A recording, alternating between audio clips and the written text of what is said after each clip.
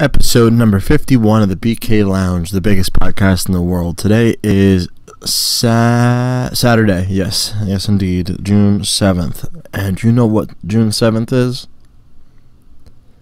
It's fight night, bitch.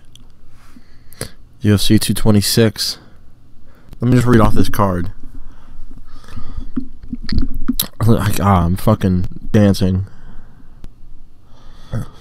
I'm gonna UFC 226. What do we got? Goddamn all. All right. We'll, I'll go up from the bottom. All right. So, I think this is main card. Oh no, it's. I'm so disappointed. The the Holloway Ortega fight's canceled. That was gonna about to be awesome. But um. This isn't all of them. What the fuck? Uh, maybe there's some undercard stuff. Hold on, I'm gonna. I, I want to find everything.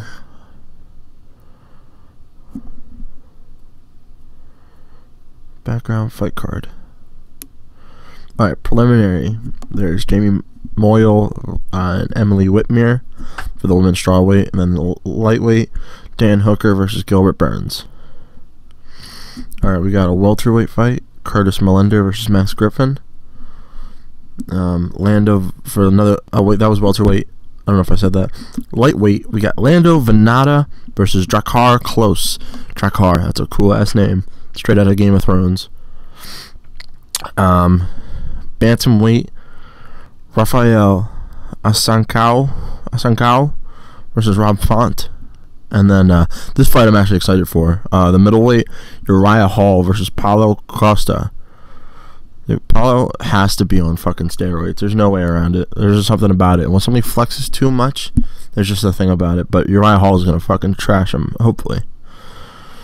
Um, light heavyweight. Oh, this is the main card. Light heavyweight Gokhan Saki versus Khalil Rountree Jr. Okay, catch weight 157 and a half. We got. They're talking a whole lot of shit. Um, Michael Chiesa versus Anthony Pettis. It's gonna be an interesting fight. Welterweight uh, Paul Felder versus Platinum Mike Perry. That's going to be really cool. That's a welterweight. So, uh, um, and then after this, I'll get my predictions for all of this, for all these. Heavyweight Francis Ngannou versus the Black Beast, Derrick Lewis. What's Francis? He's the he's the the Predator. Yeah, the Predator or something like that. Um, versus um, Derrick Lewis, and then the main event. Holy shit, this is a barn burner.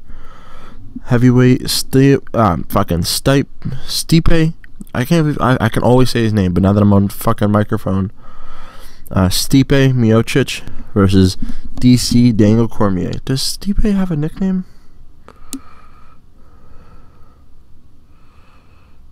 Yeah.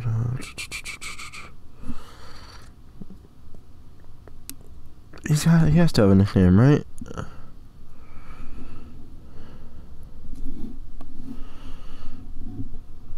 Hold on. Stipe Miocic fight name.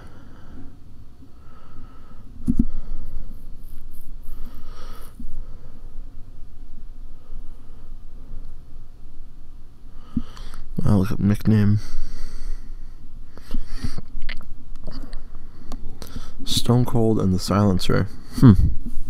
It's very Hitman esque. Alright, so for the light heavyweight fight with Gokhan Saki versus Khalil Rountree Jr., I've only ever heard of Gokhan Saki, so I'm going to go with him. And then this one's really interesting. Um, the catch weight with uh, Michael Chiesa and Anthony Pettis.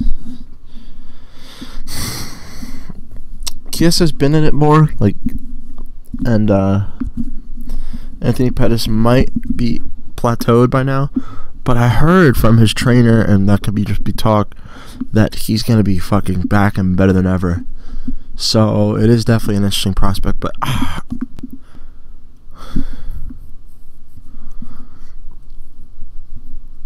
I either see Pettis winning by knockout or Chiesa winning by decision. I don't really see anything else. Welterweight with Paul Felder versus Mike Perry. Shit, that's another one. I, I think Perry wins by decision.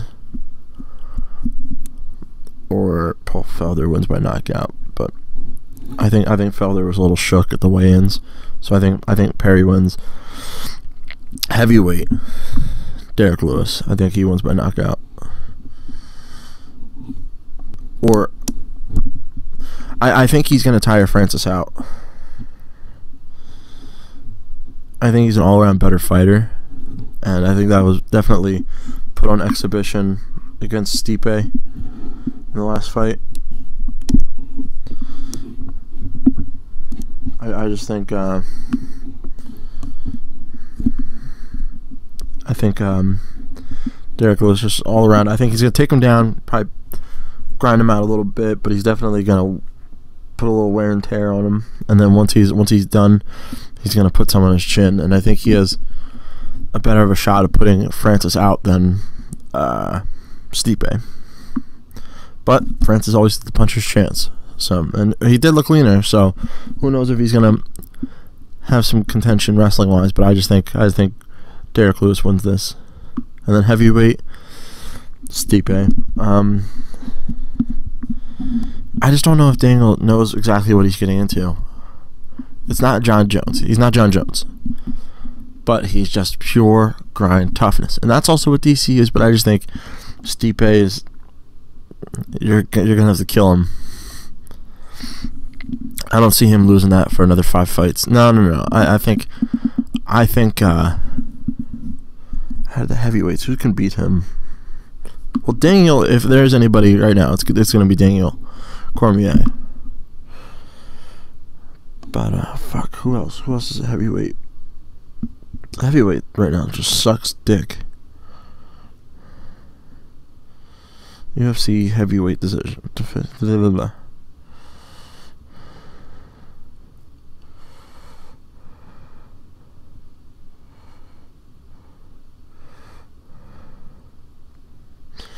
decision. Alright, Alexei Oleinik, I guess so. Like he's definitely a contender, but who else do I know? Alistair Overeem, no fucking way, he's done. Andrei Arlovski, I'm skipping some people I've never heard of. Andrei Arlovski, he's too old now, I think. He's he's my favorite of all time, but I think he's too old now. Ben Rothwell, I didn't know he was still with the UFC. Cain Velasquez, honestly, if he makes a comeback and he's exactly like the old Cain Velasquez, maybe he. Yeah, I think he could beat Stipe or at least make it close. Curtis Blaydes. uh, that could be a problem. Curtis Blaydes could definitely be a problem. He's he's he, he needs to get a little more shine. Fabricio Werdum, Stipe's already beaten him. Frank Mir, what the fuck? He's I thought he was in Bellator. Francis Ngannou, Stipe just beat him. Some of these aren't. Josh Barnett's released. Junior Dos Santos, he already lost to Stipe. Mark Hunt, I don't think so. Roy Nelson, I thought was in Bellator. Stefan Struve, probably not. Tai Tuivasa, not yet. Maybe in the future. Travis Browne, I don't see it happening, but who knows? That's fucking Timothy Johnson. Who the fuck is Timothy Johnson?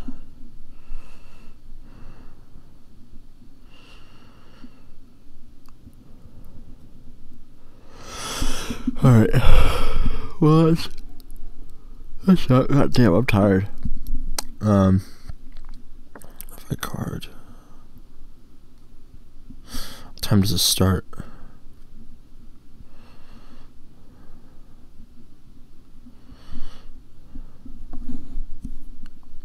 The main card starts at 10. Preliminary starts at 8. Prelim start at 7. Fantastic. I'm not going to watch the prelims. I am to watch the Uriah Hall Paul, Paulo Costa on um, the pre preliminaries. There's early prelims and then the preliminary. Paulo Costa is a fucking jack, though. It's, it's kind of scary. He's a fucking model. It's annoying.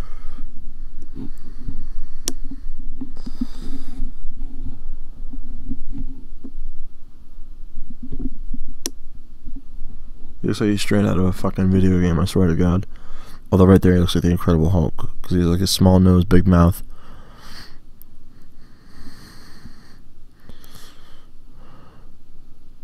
I don't know. Maybe he's natural. Maybe he's Evo Romero, but Brazilian.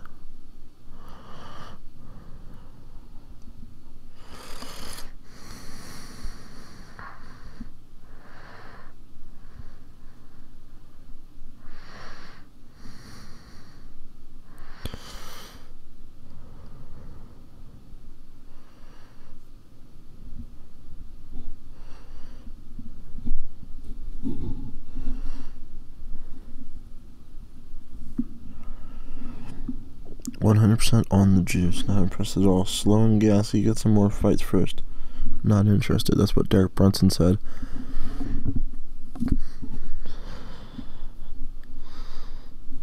No, he's definitely fucking juiced up. There's no way around it. Let's see if Joe Rogan ever said anything about Paulo Costa. Paulo Costa.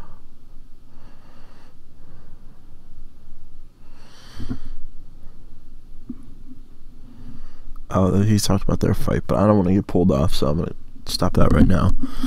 So hopefully you guys watched that. Um, it's my grandfather's birthday yesterday, so shout out, happy birthday, pop up. Um, other than that, I mean, I guess I'll read a little bit of news. Why not? I'm really fucking tired, and I've not shit to talk about.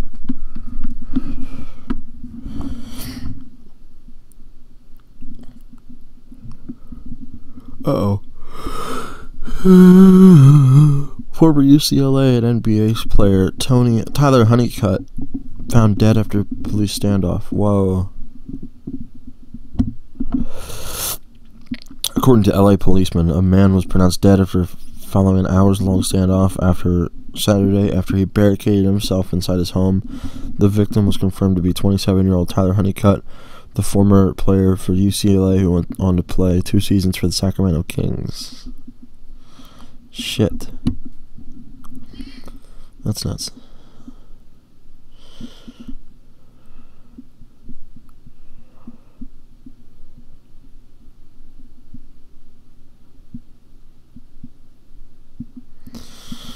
Hmm.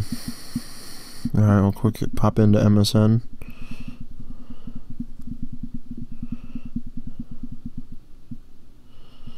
Let's see what we got. Church booted anti LGBTQ ZZR. Um, Halsey cries on stage following G-Eazy split. Oh my god, who the hell cares?